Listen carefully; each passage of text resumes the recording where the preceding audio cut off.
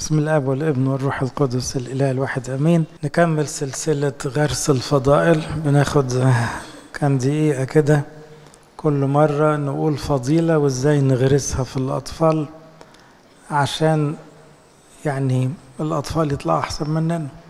وصلنا لغاية حرف الإيه حد فاكر؟ الفه خدنا الفرح. عاوزين نطلع أطفال فرحانة بربنا وبيعرفوا يفرحوا. وعاوزين ندخل على القاف ناخد القراءة. لا الحقيقة للأزمات اللي الواحد شايفها إن الجيل الجديد مش بيقرأ كويس أو مش بيقرأ كفاية أو مش غاوي قراية. وعدد الشباب اللي بيقرأ بالنسبة للشباب اللي ما يقراش ما يقراش أقصد ما يحبش القراية الحقيقة النسبة تخوف. لأن في تكوين أي مسيحي في الزمن ده بالذات. بدال القراية أصبحت متاحة. إحنا في زمن العلم ولو ما كنتش بتقرأ كويس وعندك ثقافة روحية وثقافة يعني عالمية كمان سهل قوي الشيطان يضحك عليك ويغلبك. أنتوا عارفين إحنا كنيسة في تاريخنا نحب القراية يعني منهج الرهبنة نفسه الرهبنة القبطية لازم الراهب عنده فترات قراية في صلاة وفي قراية وفي شغل اليوم متقسم ثلاثة ده الطقس الرهباني القديم كده ما بين صلواته وقراياته وشغله. الزمن ده الناس بتستسهل الميديا وعاوزة المعلومة السريعة مش عاوزة فكر مش عاوزة تدور مش عاوزة تتعب. والحقيقة ده اللي بيخلي في بلاد النهاردة بتسبق لأن بلاد بره لا بيعلموا الطفل من سن بدري قوي إنه يدخل يعمل ريسيرش يعني يدخل يبحث يدور بنفسه ويقلب كتب ومراجع ويطلع صور ويروح يسأل ناس ويعمل بريزنت يعني يقدم البحث بتاعه قدام زمايله. الكلام ده من سن 8 سنين وأصغر ساعات. فبيطلع الطفل بيحب يقرأ ويبحث لأنه مدرسته قالت له كده علمته كده فبيطلع عنده شخصية وبيطلع يعرف يدور على المعلومة بيطلع يطلع يفكر. لكن في الوقت في الزمن ده مفيش مع التلفزيون وما بعده من بقى الإيه تنازلات أو الميديا. أصبحت القراية تتقلص يعني من 40 سنة كانت الناس طبيعي مفيش حاجات كتيرة تعملها فكتب بقى كتب الأدب وكتب التاريخ وكتب فكان في نوع من حب القراية والإقبال عليه النهاردة حتى الشمامسة لما بيطلعوا يقروا ساعات يبقى العربي بتاعهم ملخبط طب ده معناه إيه؟ إزاي خريج جامعة ومش عارف يقول الجملة صح؟ ده معناه إن القراية بالنسبة له ضعيفة جدا. لأنه لو بيقرأ كويس مش هيبقى فاهم بيقرأ إيه على الأقل. إذا إحنا في زمن لازم نبقى حاسين بقيمة القراية وإحنا ككنيسة عارفين إن اولادنا بيضحك عليهم بمعلومات كاذبة. النهاردة الدنيا ماشية كده يجي واحد يلعب في دماغ شاب صغير ويقول له كلام الكنيسة غلط والكلام الصح كده يمشي وراه ليه؟ دماغه فاضية. ده لو دماغه مليانة. يقول له لا استنى ما أقول لك بقى. ده إحنا تاريخ الكنيسة بيقول وأثناسيوس بيقول وشرح الكتيبة بيقول والإنجيل في آيات إيه. ما حدش هيعرف يغلبه. إيه اللي طلع واحد عظيم زي أثناسيوس الرسولي؟ إن البابا ألكسندروس كان يسهره طول الليل يكتب إنجيل يوحنا ينسخه نسخ لغاية ما حفظه صم.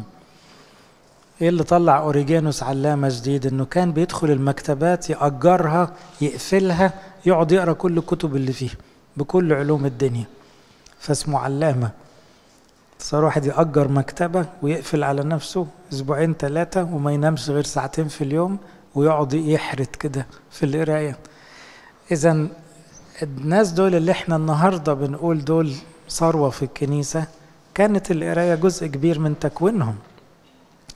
وحتى في وصية الكتاب بيقولها فليفهم القارئ. ومن قيمة القراءة إحنا عندنا رتبة في الكنيسة اسمها الأغنسطس. الأغنسطسية يعني إيه؟ هو الشماس القارئ القادر على وعظ الشعب. يعني الأغنسطس ده المفروض خادم بيقدر يوعظ الشعب لأنه فاهم بيقول إيه. وفاهم الإنجيل بيقول إيه وفاهم علوم الكنيسة. إزاي نغرس القراءة في الأطفال؟ لأن الطفل اللي ما تعودش يقرأ هو الشاب اللي ملوش في القراية هو الراجل الكبير اللي إيه أي ريح تعليم هتاخده يمين أو شمال. طبعا النهارده علوم الدنيا زادت جدا وآداب الدنيا كتيرة لكن الأهم كمان بالنسبة لنا هو الإنجيل وكتب الكنيسة على الأقل.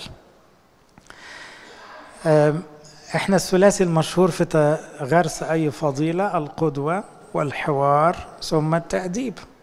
هنا هنضيف بعض الأمور. أولا القدوة طبيعي لو طفل شايف أبوه بيحب القراية وشايف كتب في البيت برضو ده دافع ليه إنه يقرأ. أي طفل يحب يبقى زي أبوه لما يكون أبوه كويس. فبيبقى باصص إنه دي حد ذاتها حاجة حلوة إن بابا بيقرأ وماما بتقعد مع الإنجيل تقرأ. وكمان لما الواحد بيشوف إن والديه بيتكلموا كويس وفاهمين لأن هما بيقروا بي بيحترمهم وبيحس إنه فخور بيهم لأنه الناس دي بتعرف تتكلم في كل حاجة. إنما سوري في يعني أطفال أو شباب صغير بيتكسف من أبوه وأمه لجهله. وجهله مش مقصود بيه إنه ما يعرفش يقرأ يفك الخط لأ لأنه زي اللي ما بيفهمش في حاجة. فبيبقى مكسوف منه. عاوز يقول له لا يعني يا بابا كنت أتمنى إنك تبقى زي أنكل فلان اللي بيعرف يتكلم في كل حاجة. اذا واضح إن القدوة ليها تأثير حتى في الموضوع ده إن الواحد يحب القراية. عشان كده المبدأ اللي اتفقنا عليه نصلح نفسنا يا كبار عشان عيالنا يشوفوا فينا حاجة يعرفوا يعملوا أحسن مننا. إنما قبل الحوار لازم أقول فيه بقى نوع من المهارة في غرس الفضيلة يعني مثلا بفرح قوي لما ألاقي أم تجيب الإنجيل المصور ومع أطفالها من سن سنة أو سنتين تبتدي تحفظهم. حكاية آدم وحواء ونوح و... وإبراهيم وإسحاق ويعقوب. ونفضل نعيد وفي النهارده إنجيل لكل مرحلة نقدر نكبر بيه. وبعد شوية لما يقرأ جملة يقرأ آية تحت الصورة ويربط الصورة بالآية. وبعد شوية نفتح حوار وبعد كده نجيب له قصص صغيرة. أنا فاكر وإحنا أطفال كانت قصص القديسين دي كانت هي هوايتنا. يعني كان أحلى حاجة نجيب قصص القديسين بالذات اللي مش معروفين. وكان السنكسار ده نقراه يوميا مع الكنيسة وكنا ممكن نقعد نخلصه في أسبوعين ثلاثة نقرأ السنة كلها. كل ده خلى الواحد يتعلق بالقديسين ويحفظ سيرهم. وكنا ساعات نتبارى مين يعرف يعقوب الفارسي؟ مين يعرف مش عارف مين؟ يعني نتسابق في المعلومات اللي من النوع ده. فيبقى كل الفصل في مدارس الأحد شغوف إنه يروح يذاكر عشان يرجع عنده معلومة جديدة مفيدة. إذا لازم نوفر الكتب للطفل. لازم يبقى في أسلوب تشجيعي. لأنه إحنا أغلب الآباء والأمهات بيستسهلوا يدوا الأجهزة للعيال عشان يسكتوهم ويلهوهم لأن هم مش فاضيين. الطريقة دي على فكرة فاشلة جدا في التربية لأن الأجهزة الحديثة دي أو الألعاب دي قليل منها عشان ما نظلمهمش اللي بينمي مهارات عقلية وذهنية. كتير منه بيضيع وقت بس وبعضهم مليان حاجات وحشة كمان. بتغرس نوع من العنف مثلا في بعض الألعاب اللي بيلعبوها بتعلموا العنف. وبعض الأفلام اللي بيشوفوها حتى وهم أطفال بتبقى فيها ألفاظ مش كويسة وصور مش كويس فبيغرس جواه مفاهيم وحش. عشان كده لازم يكون في رقابة على المادة اللي داخلة على عقل ابنك. وفر الكتب شجع افضل قول لولادك يا ريت تقروا. ده انت ممكن أنا شفتها في بيت بعاملين ربع ساعة للقراية لكل اللي في البيت. كل واحد قاعد واخد كتاب جده وماما والطفل والشاب في ربع ساعة كله بيقرأ غير الإنجيل كمان. فالطفل يقعد عمال يقلب آه بس هو لازم ده وقت القراية فابتدى يتعود إنه يقرأ. طبعا لما بشوف طفل بيحب القراية الحقيقة أنا بفرح جدا بس للأسف مش بشوفه كتير يعني. لكن النوع ده هو اللي هيطلع يفرق جدا. هو ده المعلم في المستقبل في الكنيسة. لا يمكن واحد يعلم وينجح في إقناع الناس ما كانش بيقرأ كتير. القديس بولس يقول لتيموساوس لاحظ نفسك والتعليم وداوم على ذلك. إن فعلت هذا تخلص نفسك والذين يسمعونك أيضا. كمان اختيار الكتاب المناسب. في أطفال ما يحبوش يغروا غير الألغاز والروايات بس. التنوع مفيد. سيبه يقرأ ألغاز وروايات وماله لكن بقدر الإمكان حاول تجيب له يعني مادة أخرى. اختيار الكتاب مهم لأنه في علوم الكنيسة يسموها. زي تاريخ الكنيسة زي طقس الكنيسة دي علوم الكنيسة. فكل ما يعرف منها ويقرأ فيها كتير وبدري كل ما يطلع فرحان بالحاجة اللي عنده دي مقتنع بيها بيدافع عنها. يبقى القدوة ثم التشجيع ثم توفير الكتب.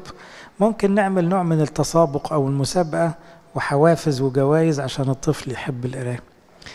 التأديب أنا مش شايف له مكان قوي إلا إن نوع من تكريم القراءة على حساب حاجات تانية. يعني أنا شايف مثلا الناس كلها بتحب حاجات معينة وبفاجأ إن الشباب مثلا 12 سنة حافظين أسماء الممثلين الأجانب مش المصريين كمان. وعارفين الأفلام بأنواعها وتفصيلاتها وحكاويها. بس الحقيقة حتى يعني المربيين الكبار يقولوا مهما كان الكتاب حتى اللي ورا الموفي ده أو ورا الفيلم ده الكتاب أقوى. لأن الكتاب بيدي فرصة للتخيل وينمي الذهن. الفيلم خلاص هو فكر المخرج اتحط قصادك واتفرض عليك. لكن لما كنت تقرأ بس أنت مخك بيسرح بالطريقة اللي تهيأ لك الأحداث على خيالك ومن هنا بتطلع الإبداعات والفن وكل حاجة. ربنا يدينا حكمة إن إحنا نهتم شوية بنزعة القراءة في أولادنا لأنها فضيلة في رأيي وهتحمي ولادنا من لخبطة كتير. وفي نفس الوقت تطلع لنا جيل من الخدام أقوى لأنه محب للقراءة.